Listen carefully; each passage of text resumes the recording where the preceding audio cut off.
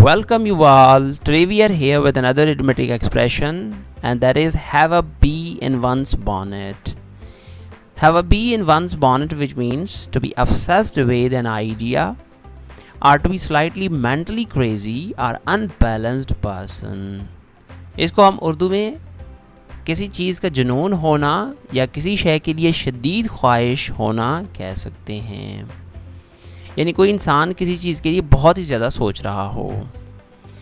Here is sentence the man has a real bee in his bonnet in trying to find out about how people would react in this situation so we have use here has a real bee in his bonnet here is another sentence don't take his remark seriously he does not know what he is talking In fact, he has a bee in his bonnet.